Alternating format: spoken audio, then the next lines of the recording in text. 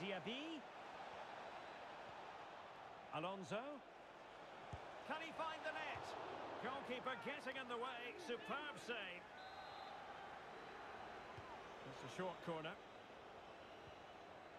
Very quick thinking there.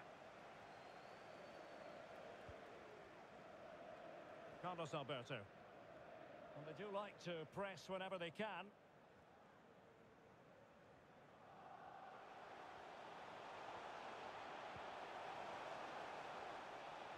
Moving forward effectively. Dangerous ball. And a goal to tighten things up. They've thrown themselves a lifeline. Well, here's the replay, and what a well-delivered cross this is. Perfectly placed, which makes it a fairly simple finish in the end. It's a really good goal.